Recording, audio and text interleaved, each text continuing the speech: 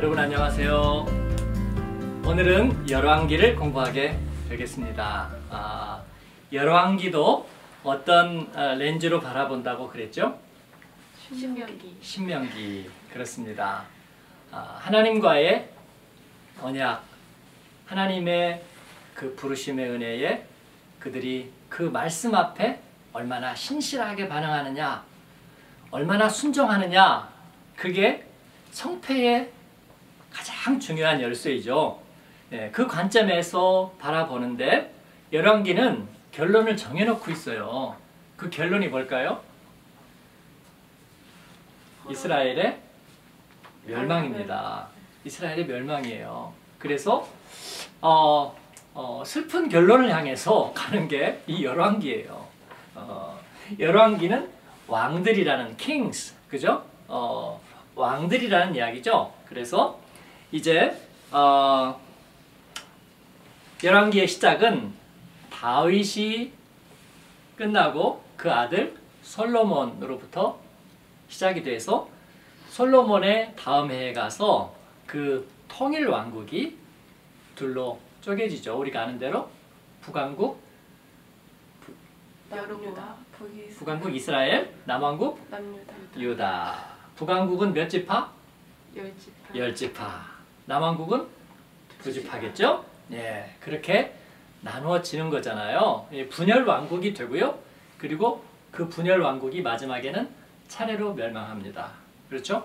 예, 그래서 북왕국 이스라엘과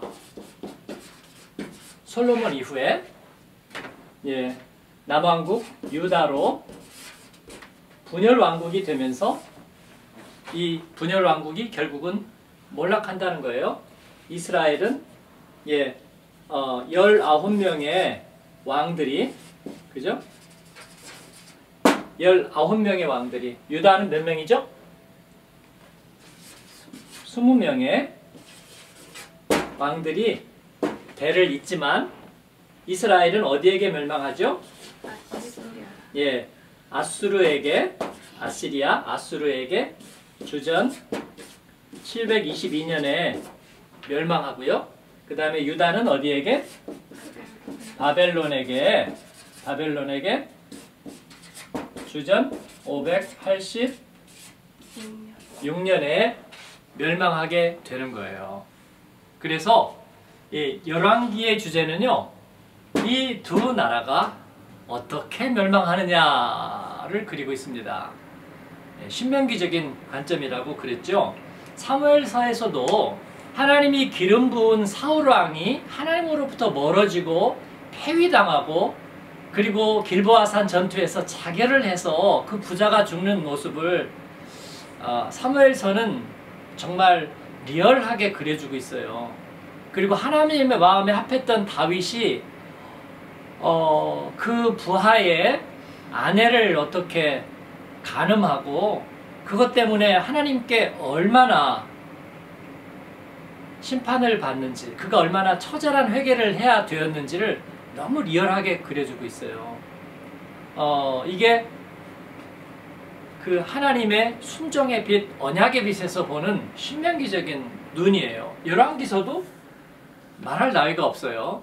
예, 먼저 솔로몬 얘기부터 하면 이 어, 열왕기를 에, 쓴 기자는 바로 이 솔로몬에 대해서 뭐라고 얘기하는 줄 아세요?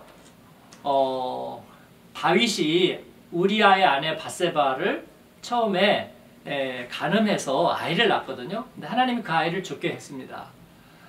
다윗이 정말 아이가 무슨 죄가 있어요? 아이는 살려주세요. 그런데 아이를 살리지 못했어요. 그리고 두 번째 이 바세바에게서 난 아이가 솔로몬인데 하나님은 그에게 긍휼을 주십니다. 첫 번째는 심판하시고요. 두 번째는 긍휼을 베푸세요. 그래서 솔로몬은 은총의 선물입니다. 다윗이 아무 말 할 수가 없는 거예요. 그런데 열왕기서는 솔로몬을 처음에 뭐라고 소개하는 줄 아세요? 와, 우리아의 처가 다윗에게 낳은 아들이라고 소개하고 있어요. 아, 성경이 무섭습니다. 네? 우리아의 처가 다윗에게 낳은 아들. 그게 솔로몬이라는 거예요. 네. 근데 다윗이 마지막에 이제 몸이 차지고 그래가지고 아무 힘도 없는 처지가 돼요. 다윗의 말년은 너무 쓸쓸합니다. 예, 그때에 이제 후계에 대한 예, 그런 다툼들이 막 일어나는 거예요. 어, 아도니아라는 왕자를 다윗은 청해했고 예, 그렇게 됐으면 했어요. 그런데 바세바는 당연히 솔로몬에게 마음이 가 있고요. 그리고 다윗을 이렇게 질책했던 선지자 나단은 솔로몬의 손을 들어줍니다. 하나님이 솔로몬에게 마음이 가 계셨던 것 같아요. 그래서 솔로몬이 왕이 됩니다. 왕이 되는데 어, 솔로몬에게 하나님은 뭘 요구했을까요? 예, 성경이 원하는 건 딱 한 가지죠. 하나님과의 언약에 충실한 거.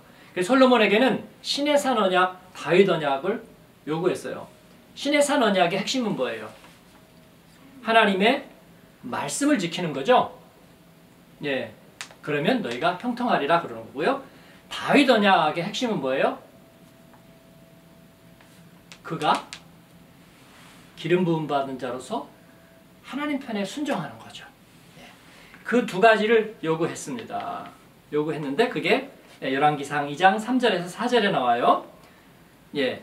내 하나님 여호와의 명을 지켜 그 길로 행하여 그 법률과 계명과 율례와 증거를 모세 율법에 기록된 대로 지키라. 그리하면 내가 무엇 무엇을 하든지 어디로 가든지 형통할지라. 여호수아에게 하신 것과 같이 솔로몬에게도 얘기를 하시는 거예요. 그리고 또 마음을 다하고 성품을 다하여 진실이 내 앞에서 행하면 그렇게 약속하시는 거죠. 그래서 솔로몬은 인생 전반부에서는 그대로 합니다. 하나님께 지혜를 구하죠. 우리가 유명한 어, 솔로몬의 지혜를 구하는 기도. 그리고 기도원에서 1천 번제를 드리죠. 예. 아, 그래서 그는 지혜의 왕이 됩니다. 잠언과 아가서의 저자가 되고요. 또 지혜로운 솔로몬의 재판 그 유명한 이야기를 남기고 열방을 향한 성전 건축을 7년 동안 해가지고 출애굽 480년째에 완공을 하죠. 예. 그런데 그 성전을 완공할 때 하나님이 너무나 기분이 좋으셨을까요? 하나님이 성전을 완공하고 하나님께 예배를 드렸을 때에 하나님이 나타나셔가지고 다시 언약을 얘기해요. 아, 하나님은 집요합니다. 그래서 만약에 이스라엘이 범죄하면 내 땅에서 끊어버리겠다 얘기하시고 또 범죄한다면 내가 거룩하게 이렇게 구별해 놓은 이 성전을 내 앞에서 던져버리겠다고 위협을 하세요. 두려운 하나님이죠. 그리고 그 말씀은 이루어집니다. 솔로몬 성전은 예, 한 해 전에 주전 587년에 바벨론에 의해서 무너지죠. 완전히 무너져 버리는 거예요. 예, 솔로몬은 은총의 아들이라 그랬죠? 그랬는데 솔로몬의 인생 전반전은 약속을 지켰는데 후반전에는 지키지 못했어요. 어, 왕이 되는데 이미 그는 죄를 많이 졌습니다. 많은 살육을 했어요.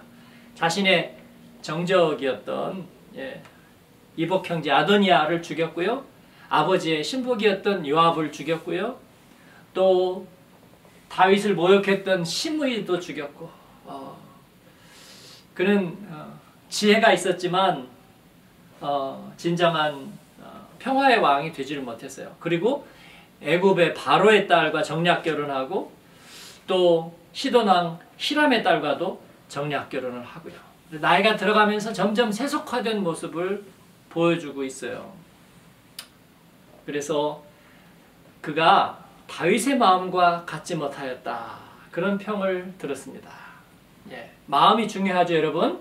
예, 마음을 지키는 예, 우리 하나님의 사람들이 되어야 되겠어요. 솔로몬은 젊은 시절에 그 마음, 우리가 뭐 초심을 지켜라 그런 얘기하는데 예, 마음을 지키지 못했어요. 그래서 하나님은 이 솔로몬에게서 마음이 떠나십니다. 그러면서 솔로몬의 다음 때에 르호보암에 가서 이제 왕국이 갈라지는 거예요. 르호보암이 그 나라를 지킬 만한 그릇이 되지 못했지만 그러나 하나님께서는 솔로몬 때문에 이 왕국의 분열을 놔두신다. 그렇게 얘기하고 계세요. 그래서 남왕국과 북왕국으로 이제 갈라지게 되는 거예요. 예. 원래 이 북왕국의 열 지파는 자기들끼리 유대감이 강했고 유다 지파하고 사이가 썩 좋지 못했는데 다윗이라는 그런 좋은 임금이 있었기 때문에 이들을 함께 이 어우르고 그렇게 할 수 있었던 거예요. 그런데 솔로몬이 공사를 많이 하면서 예, 이 이스라엘 지파들에게 부담을 많이 줬거든요. 그래서 점점 점점 마음의 불만이 더해가는데 솔로몬의 아들 르호보암 때에서는 이들을 얼싸 안을 수 있는 리더십이 되지 못했어요. 그래서 북지파가 독립을 해버립니다. 그 앞에 섰던 게 여로보암이에요. 그래서 남왕국과 북왕국이 이제 나뉘어지게 되는데 자 우리 패널들에게 물어보겠습니다. 남왕국과 북왕국에서 누가 하나님에게 적자가 될까요? 유다. 왜 북왕국은 안 되죠? 김영 목사님. 유강국은 북왕국은 왜 안 되나요? 하나님이 그냥 정하셨나요? 왜 북왕국이 아니고 남왕국일까요? 네, 우상을 섬겨서. 예, 그렇죠.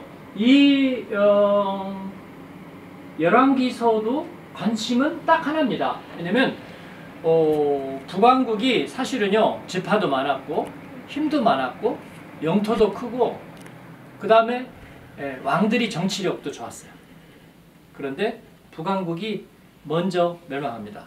왜냐하면 북왕국의 왕들은요 세상적인 힘과 또 세상적인 권력을 많이 추구했어요. 예, 그 대신에 하나님이 기뻐하시는 다윗 왕조와의 끈을 끊어버렸습니다. 그리고 어, 자기들 마음대로 단을 쌓고 그리고 거기에다가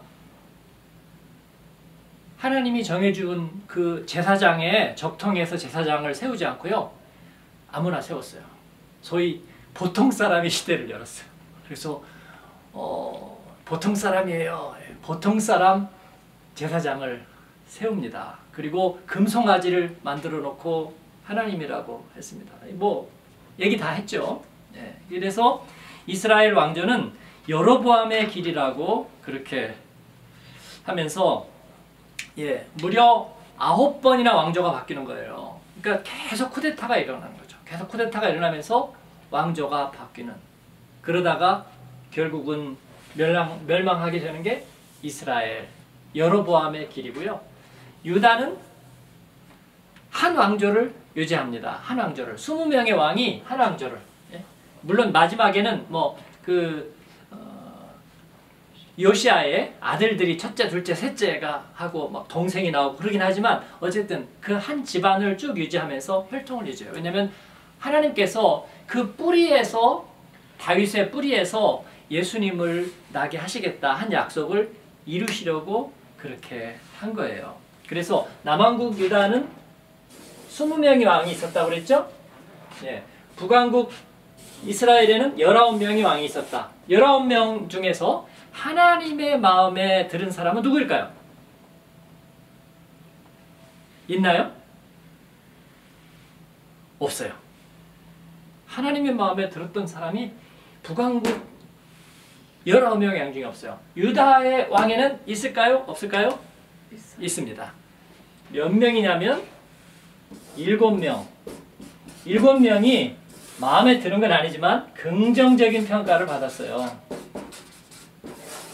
그리고 거기서 칭찬받은 사람은 대표적으로 누가 있을까요? 요시야. 요시야. 예, 종교개혁을 일으켰던 요시야. 그 다음에 아파가지고 하나님 앞에 막 기도했던 히스기야. 히스기야. 예, 두 사람이 칭찬을 받았고요. 그러면 어, 제가 북왕국에 대해서는 그래도 하나님이 열두 지파잖아요. 야곱의 후손이고 그래도 하나님의 약속 안에 있었는데 그럼 이스라엘은 아예 버렸느냐? 그렇을까요? 예. 신명기적인 관점에 사람의 언약을 지키면 축복이 있고 어기면 저주가 있다. 그렇죠? 그래서 하나님의 언약과 심판 그대로 됐다면 이스라엘은 다 심판받아야 맞았겠죠? 그랬는데 그러면 유다는 하나님이 어쨌든 예수님의 뿌리로 지켜주시니까 그리고 그 중에는 예, 하나님의 마음에 합한 사람들이 그래도 숙명 중에 일곱 명이나 대를 이어가고 있었으니까 그럼 북왕국은 어떻게 되느냐고요. 그래서 북왕국의 시대는 버림받은 시대인가요? 그런 것 같지 않더다예요. 그러면 북왕국에는 어떤 일이 있었느냐고요? 북왕국은 선지자의 시대가 되었습니다. 선지자의 시대. 이 말은 무슨 말이냐면 이 왕들이 하나님의 마음에 들지 않았지만 그리고 그들이 우상을 섬기고 금송아지를 섬겼지만 그래서 그들이 언약으로부터 멀어졌지만 그런데 하나님의 언약은 그들이 하는 거에 따라서 반응하는 것이 하나님의 언약이 아니고 하나님 편에서 지켜가는 게 또 있어요.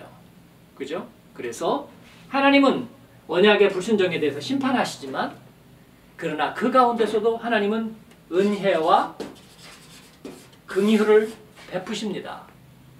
그래서 북왕국 이스라엘의 역사에는 선지자의 시대가 나오는데 가장 유명한 선지자는 남왕국에 있는 것이 아니라 북왕국에 있어요.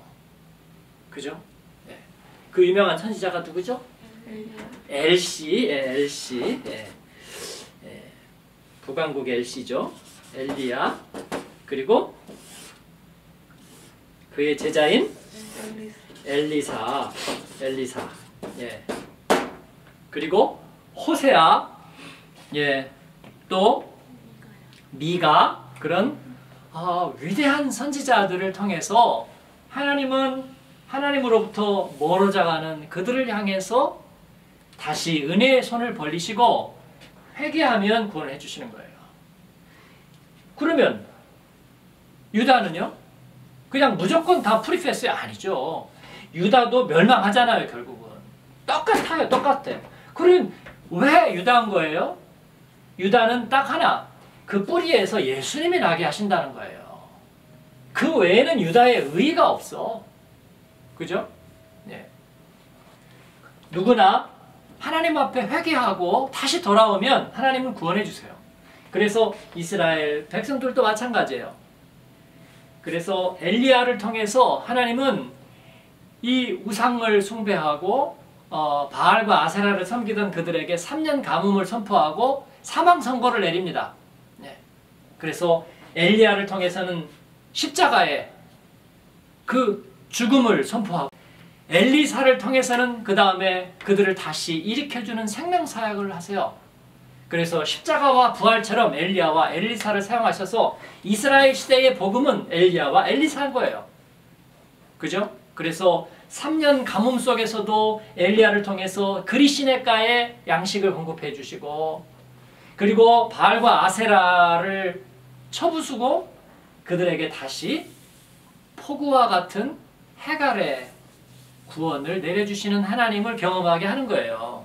그러니까 이스라엘이 망했으니 우리도 망한다가 아니에요. 중세 시대에 암흑의 시간을 보냈으니까 그때는 다 죽었다. 그게 아니에요. 그 가운데서도 하나님은 은혜를 베푸신다. 그런 것입니다. 예. 이게 이스라엘 사람들은 하나님의 약속을 떠나서 세상에 형통을 찾았지만 엘리야는 거기에 대해서 사망 선고를 내리는 거예요. 그래서 가뭄과 기근이 오게 하고 그 대신에 바알 종교를 내쫓고 척결하면 하나님은 그 가운데서 다시 그들에게 생명의 구원을 주신다. 그래서 엘리사가 다니면서 다시 그런 생명의 불씨를 계속 일으키는 거예요. 그런데도 불구하고 이스라엘은 결국은 이겨내지 못했죠.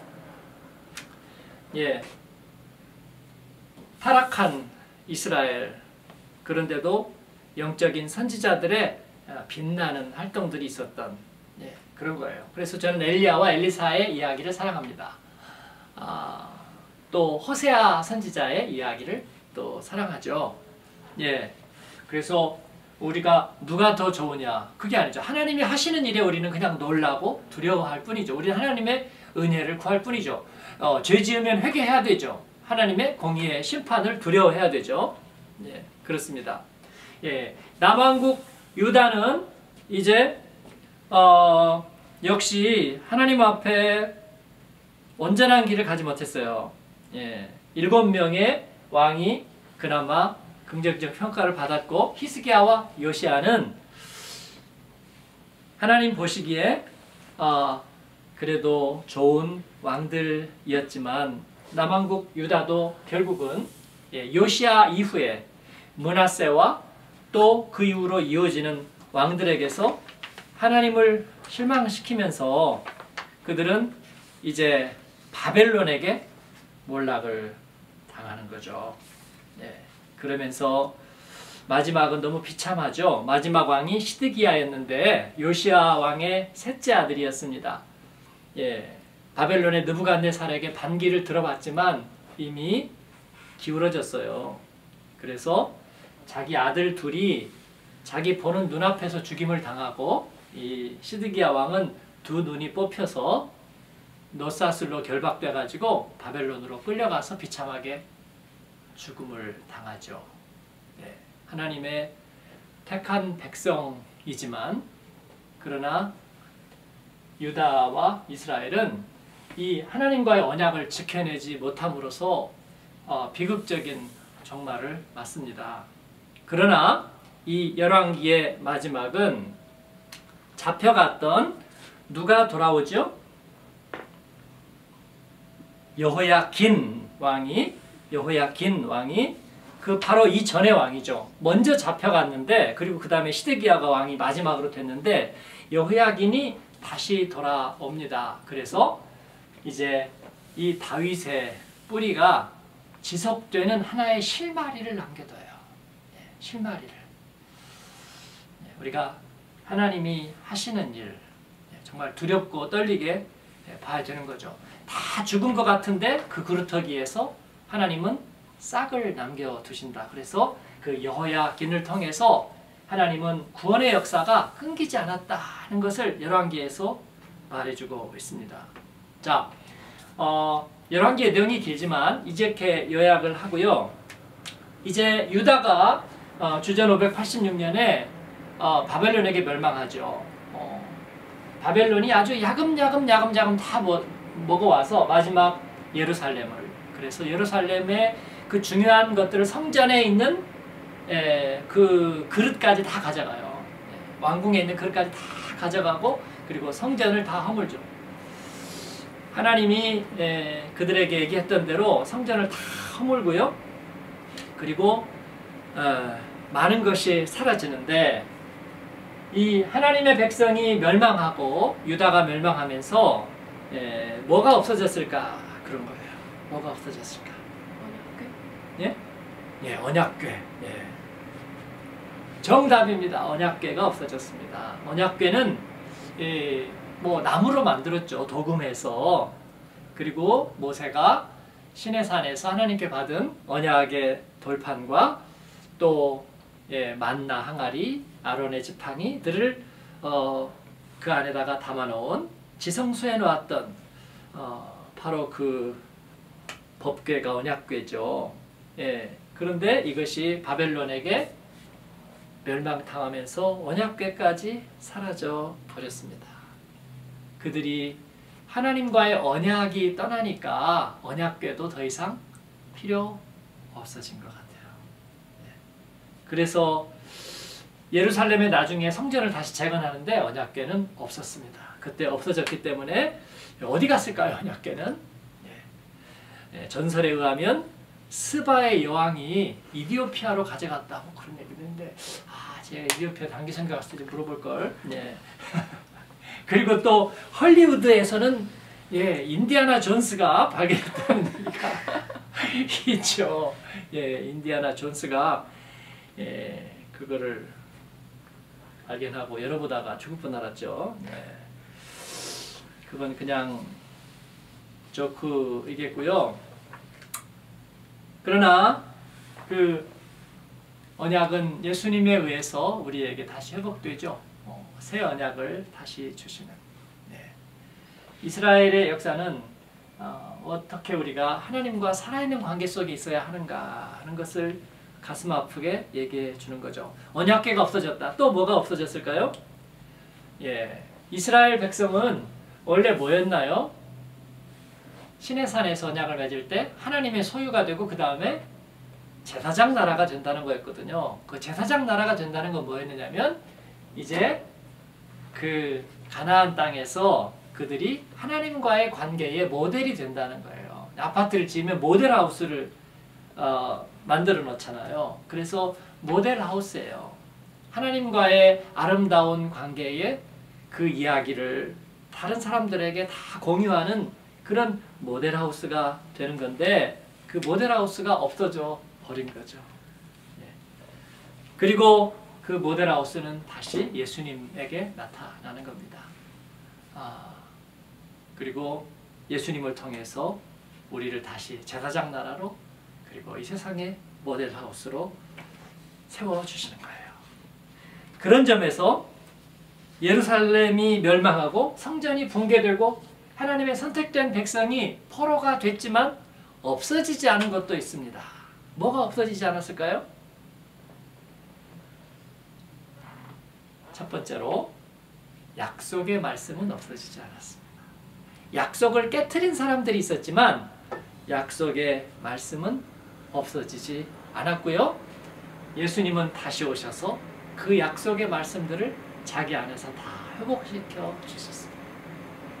무화과 나무 아래 있던 나다나엘에게도 갈릴리에서 그물을 깁던 베드로와 안드레에게도 세리장이 마태에게도 그리고 가늠하다 잡힌 여인에게도 혈루증 앓던 여인에게도 죽음 가운데 던져졌던 나사로에게도 하나님의 그 약속의 말씀을 우리 예수님은 회복시켜 주신 거죠.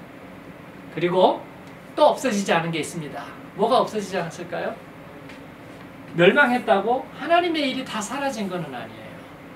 사울도 하나님 앞에 폐위가 됐지만 그러나 하나님께 사랑받을 때에 그 사울에 올려드린 그 마음은 하나님이 지우지 않으셨어요. 예. 이스라엘에서도 구원받은 많은 사람들이 있었거든요. 여인, 그죠? 예. 사렙다 과부, 또그 아들, 그리고 선지자의 생도들, 예. 하나님께서 구원해 주신 나만과 또 그 많은 하나님의 사랑을 받았던 사람들은 예, 모두 다 사라지지 않았어요. 예. 하나님은 하나님의 베푸신 은혜를 거두지 않는 분이신 줄로 압니다. 에녹도 엘리야도 사라지지 않고요. 하나님 앞에 올림을 받았거든요. 이 세상은 사라지겠지만 구원받은 우리는 주님 나라에 영원하다. 그래서 하나님의 말씀은 사라지지 않는다. 하나님의 약속은 사라지지 않는다. 예. 오늘 저녁에 우리가 고난을 당해도 어제 올려드린 하나님께 올려드린 영광은 사라지지 않는다. 네, 그런 거예요.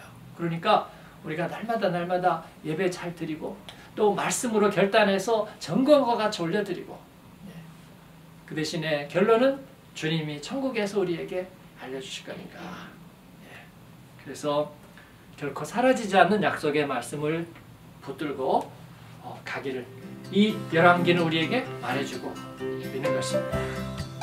여기까지 하겠습니다. 여러분 축복합니다.